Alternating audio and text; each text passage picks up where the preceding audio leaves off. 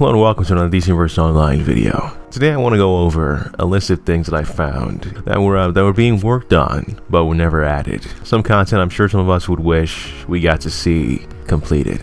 Let's get started. Number 1. Batman vs. Superman Legends characters. It seems back in 2016, they had plans to add new Legends characters based on the Batman v Superman movie and the Suicide Squad movie. There are screenshots of Batman, Superman, Wonder Woman, and Harley Quinn placeholders as they were working on these. These plans were probably scrapped due to copyright issues, as we saw with the Batman v Superman swag bags, where Batman and Superman emblems were added to the game but were removed due to, I guess, a copyright breach of some sort. Number 2. A new user interface. Back in 2014, the DCO YouTube channel posted a video presenting a new UI for the game. They said it was to be entirely see-through and easier to navigate specifically on um, PlayStation, but nothing ever came of it. Uh, the video is still on the YouTube channel, although it is um, unlisted, so you have to find a link. Honestly, personally, I prefer the, the UI we have now. By, you know, looking at it yourself, which one do you prefer? The one we've got or this supposedly newer one from 2014? But number three on the list, we have characters who were never added to the game. First is Future Joker, who we see in the game's cinematic cutscene. Now, the character's only known appearance in the game was during the final days of the beta testing back in 2010, you know, before the game's official release. It was controlled by Jim Lee for, uh, I guess, a big PvP event they were having to say goodbye to all the beta testers.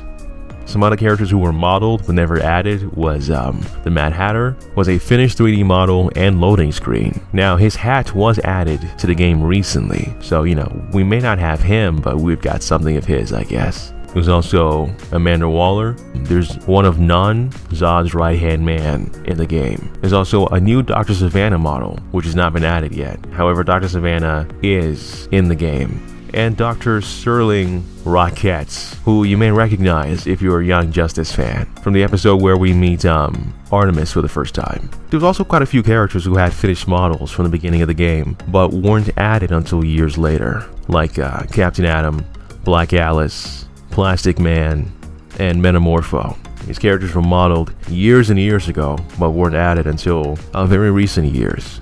And number 4 on the list, there's also a few characters who seem to have never left the uh, concept art stage, such as Mongul, who I personally would love to see, Despero, who again I would love to see him, Arsenal, Green Arrow's sidekick, or does he not like being called that, and Hector Hammond, who was the main villain in the um, Green Lantern movie.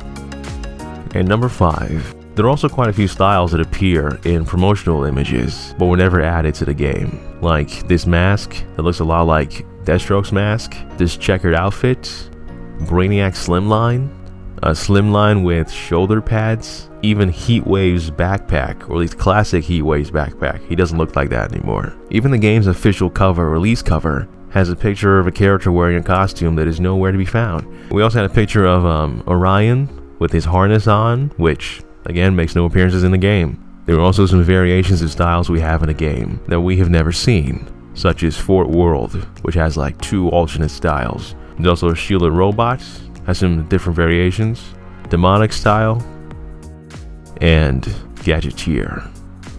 Now there's a lot more of this type of stuff in the game's old trailers. That's a video for a different day.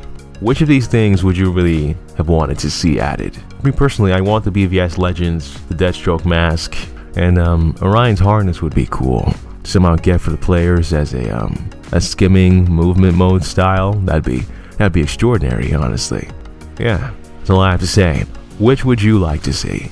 Thank you for watching. Please like and subscribe. Have a wonderful day. Bye.